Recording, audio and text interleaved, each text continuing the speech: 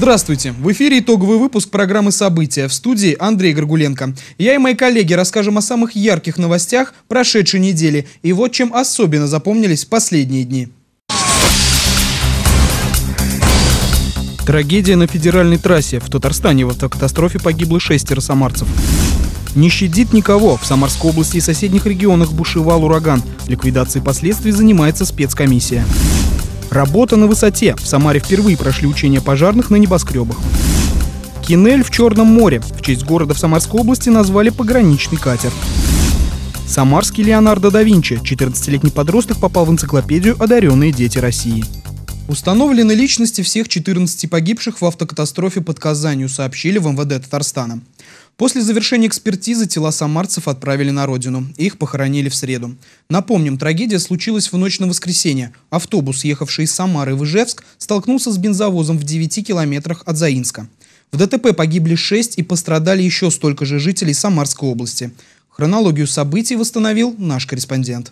В нескольких километрах до города Заинск в ночь субботы на воскресенье около часу ночи по московскому времени автобус «Неоплан» столкнулся с ехавшим в попутном направлении КАМАЗом, который буксировал на жесткой сцепке грузовик «МАН». Автобус перевернулся и загорелся. Как видно на кадрах с места ЧП, салон выгорел полностью. От автобуса остался только каркас. По словам очевидцев, машина полыхала словно крематорий. В ДТП погибли 14 человек, в том числе двое детей. Остальные пассажиры в больницах Республики Татарстан. Сейчас на ваших экранах списки людей, которые находятся в медучреждениях набережных Челнов и Альметьевска. Пострадавшие своевременно были э, доставлены в высокотехнологический медицинский центр, травмоцентр первого уровня, им на сегодняшний день оказывается вся необходимая медицинская помощь, проводятся необходимые э, лечебно-диагностические мероприятия. Э, у всех пострадавших сочетанные травмы, э, ожоговые различной степени и травматический шок. По одной из версий, водитель не справился с управлением при обгоне. В компании-перевозчики сообщили, что автобусом управлял очень опытный водитель и что машина находилась в хорошем техническом состоянии. Недавно проходила техосмотр. Автобус марки «Неоплан» был построен в 2008 году, осуществлял рейсы в Казань, Йошкар-Олу, Ижевск и другие города. Полная вместимость салона 51 человек. Роковой особенностью строения автобуса стал его топливный бак, который располагается в правом переднем крыле машины. Само транспортное средство было зарегистрировано в Самаре, принадлежало фирме Евразийская корпорация автовокзалов. Задержан генеральный директор компании-перевозчика, по заказу которого осуществлялся рейс Самара-Ижевск. В главном офисе компании прошли обыски. Проверку компании проводит прокуратура Самарской области. При выявлении нарушений прокуратура примет меры реагирования. Кроме того, будет дана оценка деятельности должностных лиц. В зависимости от того, какие нарушения, это может быть а, административная ответственность или вопросы о приостановке самого, самой деятельности предприятия. Сейчас еще рано говорить, но тем не менее. Будут проверяться в том числе и вопросы безопасности перевозки детей. Сейчас срабатывается несколько версий случившегося, среди которых ослепление водителя автобуса фарме встречной машины. А родственникам погибших впереди предстоит тяжелая процедура опознания. Закончить ее планируют завтра, 4 июля. Андрей Горгуленко, Алина Чемерис, Василий Колдашов. События. Электричество восстановили, поваленные деревья вывезли. В регионе в течение суток устраняли последствия стихии. Циклон, пришедший с Черного моря, добрался и до Самарской области. Дождь и шквалистый ветер, скорость более 20 метров в секунду. Все это регион пережил за ночь со среды на четверг. Чего ждать дальше, знает Алина Чемерис. С самого утра аварийная бригада спиливает дерево, упавшее на провода в Ленинском районе Самары. Сильный ветер бушевал в городе всю ночь, не успокоился и с рассветом. С нескольких зданий сорвало крыши, выбило москитные сетки на окнах, повалило временное ограждение. Я просто вчера был за Волгой, и там, конечно, жутко. Прям резко по лесу, прям ужасно. То там, то сям деревья падают. В районе Кинапа, фитнес-клуба, там же сейчас идет ремонт, и отгорожено пространство, где идет ремонт, такими жестяными листами. Вот я наблюдал, как их прямо выворачивал напрочь. Стихия буйствовала во всем регионе. К счастью, погибших и пострадавших нет. Скорость ветра достигала более 20 метров в секунду. Из-за упавших деревьев без электричества остались жители Новокуйбышевска, Сергиевского, Богатовского и Елховского районов. Всего на посту свыше десятка ремонтных бригад, около 20 единиц техники. Энергетики делают все, чтобы до конца дня восстановить электроснабжение во всем регионе. На чеку и сотрудники МЧС. По их данным, только в Самаре и Тольятти упало около сотни деревьев. Повреждены автомобили, ветром вырвало остановки Циклон очень активный, который вышел с Черного моря через Нижнюю Волгу на Среднюю Волгу. Будут ветры немножко ослабевать. Мы на сегодняшнюю ночь, на предстоящую ночь ожидаем еще уже немножко потише ветры, но все равно остаются порывистый ветер до 15-22 э, метров в секунду. И температурный режим, в общем-то, на ближайшие дни э, стабильный, вечером, вернее, 9-15, а днем в пределах 18-25 градусов. Чтобы как можно быстрее справиться с последствиями стихии, в Самаре сформирована специальная комиссия, представители муниципалитета и МЧС для оперативного решения проблем. Эксперты оценят ущерб, нанесенный стихией. Сегодня в максимальной степени эту работу проверить, в полном объеме проверить все адреса по этот, и мне оперативно представить информацию по поводу ликвидации, сколько убрано, сколько не убрано и в какие сроки это будет убрано. Это касается всех, замы, слышите, и э, работы управляющих компаний. По словам синоптиков, самое страшное уже позади. Циклон отправился дальше. Циклон, который принес в Самару такую погоду, ушел в сторону Татарстана. И все же, по прогнозам синоптиков, как минимум ближайшие три дня в регионе будут господствовать дожди и ветры. Но уже завтра, хоть и ненадолго, из-за туч появится солнышко. Алина Чемерис, Максим Гусев. События. Из-за урагана в Самаре отменяли рейсы всех теплоходов. В среду на вечернем рейсе из Подгор из-за сильного шторма волной выбило передние окна на теплоходе «Москва» и произошло небольшое затопление. Видео очевидцев размещено на страничке пароходства в социальных сетях.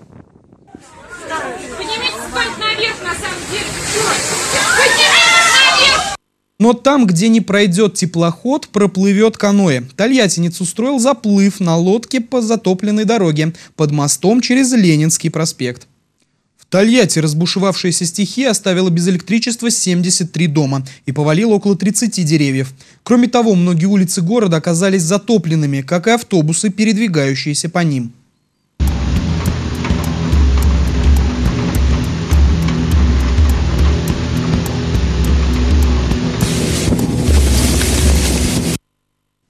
Один из очевидцев выложил в сеть видео, на котором снят тольяттинский автобус-амфибия.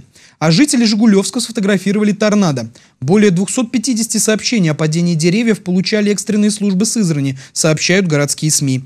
Разрушены дома в селах Елховского, Сергиевского и Ставропольского районов. По данным МЧС, пострадавших нет. Ликвидировали последствия стихии более 200 человек. В соседней Ульяновской области вода на улицах затопила машины. За 12 часов выпало 86 миллиметров осадков. Лес рубят, щепки летят. На стадионе Самара-Арена начали красить металлоконструкции. Как сообщает региональная пресс-служба, от ветра краска может разлетаться в радиусе до 3 километров от стадиона. Так что пока там лучше не прогуливаться и машины вблизи стадиона не оставлять. Работы будут продолжаться до 1 сентября. Горит небоскреб, приехали свыше десятка спецмашин. Это легенда пожарно-тактических учений МЧС. Навыки тушения огня в зданиях повышенной этажности самарские спасатели отрабатывают впервые. Проведению учений не помешала даже капризная погода. Справились ли пожарные с задачей, знает Алина Чемерис. 89-й первый на прием. А, на месте вызова. А, ликвидация, ликвидация, проливка. На 18 этаже работает два ствола.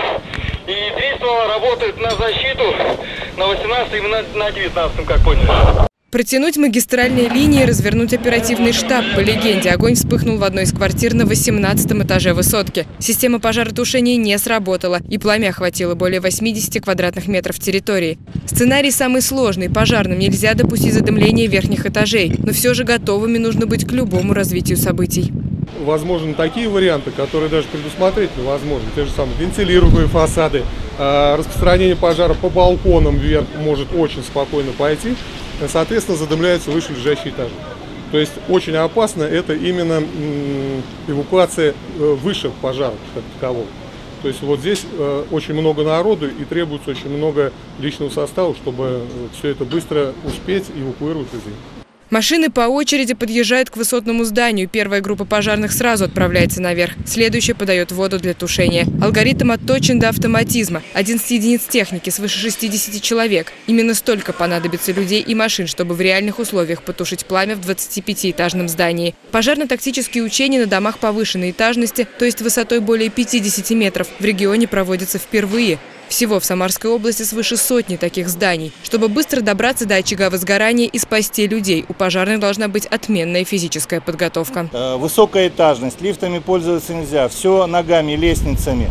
Э, как правильно организовывать эвакуацию, э, как выводить людей из данных высоких зданий, все эти вопросы мы сегодня для себя отработали, уточнили. Сегодня работу пожарным существенно усложняет погода, сильный ветер. Здесь наверху дует в одну сторону, а внизу уже в другую. При этом гораздо труднее тушить огонь. Также невозможно развернуть и внешнюю пожарную лестницу, она просто не выдержит такого ветра. Работой пожарных руководство осталось довольно, с задачей сотрудники МЧС справились. Такие учения планируется провести по всему региону. Алина Чемерис, Максим Гусев. События. Кинель теперь будет бороздить просторы Черного моря. Честь города в Самарской области назвали противодиверсионный катер из Крыма. Торжественная церемония состоялась в Самарском порту. Как военный корабль попал к Волжским берегам и куда держит путь, узнала Марина Кравцова. В Самарском речном порту красавца-черноморца встречают торжественно. Такой гость у Волжских берегов – редкость. Ему привычнее вода морская. Военный противодиверсионный корабль прибыл из города-героя Севастополя. Теперь катер Черноморского флота будет носить имя города в Поволжье – Кинель. Морякам название по душе. Очень краткое, хорошее название. А главное, хорошо звучит. В Севастополе есть еще один корабль так, такого же проекта. А, название его «Юноармей из Крыма». Небольшой, 31 метр в длину, быстрый и красивый. Основные задачи катера – охрана государственных границ страны, борьба с диверсионными силами противника и обеспечение действий боевых пловцов отряда специального назначения. Имя Кинель не случайно. Сотрудничество города и Крымской военно-морской базы началось в прошлом году. В частности, молодые люди из Кинеля могут отправиться служить в Севастополь, на Черное море. Для призывников это большая честь. И в Крым отправляются лучше лучшие. Уже шесть ребят э, у нас служат, э, проходят учебные части в э, городе Севастополь.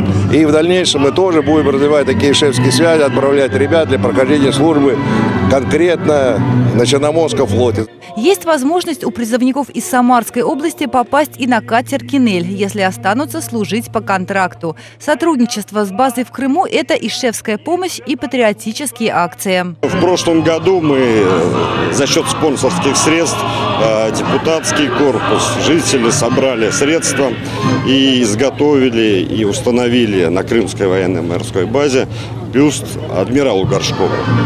Это основатель вообще флота, основатель ракетного флота, историческая личность, 29 лет, а, почти 30 лет был а, командующим флотом. Этот катер пополнил семью военных кораблей с самарскими именами. На вооружении Тихоокеанского флота России есть подводная лодка «Самара». В Балтийском флоте корабли «Жигулевск», «Сызрань» и «Татищев» в честь основателя Тольятти. Против 424 совсем молодой на воду. Он был спущен в 2014 году. Свое новое имя, звучное и лаконичное, Кинель, получил на Волге, в Самарском порту.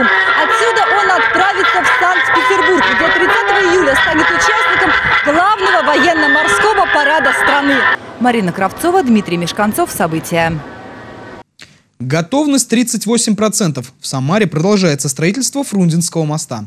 Рабочие приступили ко второму этапу надвижки пролетного строения. Как ведутся работы, увидела Лариса Шлафаст. Это огромная металлическая конструкция, уже вторая часть пролетного строения Фрунзенского моста. Сейчас в пролет смещена первая из 12 секций. Вторую рабочие двигают буквально по метру в час. Конструкцию весом больше двух тысяч тонн передвигают при помощи четырех огромных домкратов мощностью свыше 400 тонн каждая. Хоть стройка и масштабная, работу выполняют ювелирную. Для скольжения многотонных конструкций используют специальные плиты, и здесь важна точность до миллиметра. Даже если маленькая ошибка э, того человека, который подкладывает карточки, это будет очень плачевно. То есть мы смотрим даже за правильностью подкладывания карточек скользящих. Э, чтобы не было нигде всяких смазок и тому подобных, перекосов. Когда надвижку завершат, эта часть моста общей длиной 196,5 метров займет свое проектное положение между второй и четвертой опорами. Отличительная особенность второй секции – наличие 20-метровой треугольной металлической конструкции. В этом этапе участвует сборка пилона высотой 20 метров и четырех шпренгельных конструкций. Поэтому здесь отличие от предыдущей, скажем, надвижки и последующих – то, что это собирается объемная конструкция. И все это вот сейчас двигается уже в пролет. Сейчас мост готов на 38%. Одновременно со сборкой пролетного строения ведутся работы в русле реки Самара. Строители завершили работы на пятой и шестой опорах. Продолжает устройство оставшихся третий и четвертый опор. Лариса Шлафаст, Станислав Левин. События. За шесть месяцев работы перинатального центра больницы Середавина здесь родилось почти 3000 детей. Из них 57 двоен. В пятницу домой провожали маму, родившую тройню. Такие события случаются не так часто. Возможно, 2017 побьет этот рекорд. О большом семейном счастье расскажет Инесса Панченко.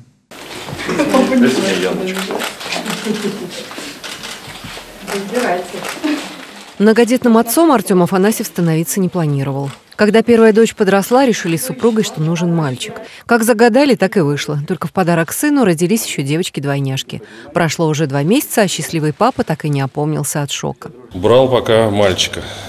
Пока девчонок боюсь, они еще тогда маленькие очень были. И как бы переживаю, ну, освоюсь. А мальчик покрупнее? Мальчик покрупнее, самый большой всех. Малыши родились с маленьким весом, последняя девочка меньше килограмма. Почти два месяца их выхаживали специалисты перинатального центра. Сначала в детской реанимации, затем в отделении патологии новорожденных. Возле кювет с детьми круглосуточно дежурили специалисты. Трое не появляются на свет не так уж часто, в прошлом году было всего два случая. Выписка Афанасьевых стала праздником для всего персонала. Выписать таких детей, а вес у них уже 2-3 килограмма, это труд огромного нашего коллектива. Это огромное число людей участвовали в этом процессе. Вот рядом со мной стоит заведующая э, отделением патологии новорожденных, которая узнает этих детей так же, как мама. Она знает, где Яна, где Лера и где Андрюша, потому что каждый день она сталкивалась с ними и все-все-все про них знает. Руки медицинской сестры выполняют привычные движения. Таких бантов Светлана Горшкова завязала уже немало. Провожает детей домой каждый раз с радостью и грустью одновременно. Привыкаешь, прикипаешь к ним как к своим. Очень тяжело распрощаться с ними. Но потом мамочки находят в соцсетях, присылают фотографии, пишут о дальнейшей судьбе, грозятся прийти в гости всей большой компании. Мама новорожденных с трудом сдерживает эмоции. Позади месяцы тревоги за малышей и бесконечная благодарность персоналу перинатального центра. Я понимаю, что все хорошо, самое страшное позади. Теперь будем следить за детками, воспитывать, холить, лелеять. Пока медики прощались с семьей Афанасьевых, их коллеги принимали роды еще одной тройни. А за здоровьем Яны, Леры и Андрея врачи больницы Середавина будут пристально наблюдать еще в течение года. Инесса Панченко, Дмитрий Мешканцов. События. Он повторил Сикстинскую Мадонну 8 лет. Позже взялся за Джаконду Леонардо да Винчи. Самарский школьник попал в международную энциклопедию «Одаренные дети России». Кроме рисования, он играет на скрипке и занимается дзюдо. С талантливым ребенком и его семьей познакомилась Валерия Макарова. Это полотно 14-летний Норик Мусаян начал больше двух лет назад. Юный художник точно повторяет технику своего кумира Леонардо да Винчи, а она требует времени и усердия. Здесь нанесено более 30 слоев. Я эту картину очень пишу достаточно долго, и нанеся каждый, примерно 2-3 слоя, я оставляю ее высыхать на неделю, после чего начинаю то, то же самое работать, и воссоздается как бы ее образ. Мальчик с удовольствием копирует полотна великих художников, особенно итальянских, эпохи Возрождения. Еще в 8 лет он нарисовал Сикстинскую Мадонну Рафаэля. А началось все с портрета бабушки. Его в семье особенно любят и берегут. Рисунок уже побывал на многих выставках. Талант художника-самоучки родные заметили и поддержали. Больше 20 работ у него набралось. Я вот эти все его работы взяла, э, отвезла вот э, в Министерство культуры Самарской области. Э, там посмотрели его работы и без экзаменов в Министерство культуры Самарской области его зачислила как бы в первый класс сразу. Художественную школу Норик окончил с отличием, и сейчас в его коллекции почти 100 картин. Это не считая эскизов и черновиков. Он пишет много портретов, есть даже портрет Путина и Шойгу. Занимает места на конкурсах, провел четыре персональные выставки. Талантливый художник оказался успешным еще и в спорте и музыке.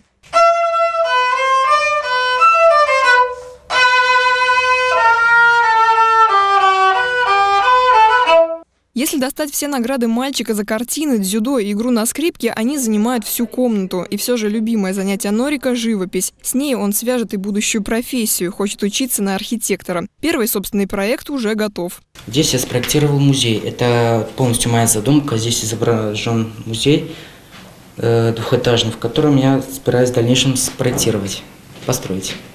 В этом году достижения Норика Мусаяна отметили на уровне страны. Его имя занесли в энциклопедию «Одаренные дети России». Теперь он может поступить на бюджет в любой вуз Москвы.